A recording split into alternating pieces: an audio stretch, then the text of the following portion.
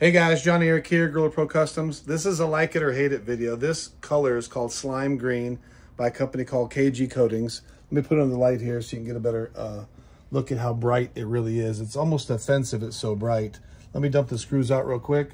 I'll show you guys the inside, which looks amazing. Well, here we do the bottom first. I love this color. Please comment, like it, love it, hate it, whatever. I want to get your opinion. Before I go spend 20 grand doing a bunch of these, I want to see if you guys like it. So here is the inside, which, like I said, I really like this color, but like I said, I don't want to spend a bunch of money and find out that I'm the only one who likes it. So check that out. Is this a good color or is it a terrible color? Let me know. See ya.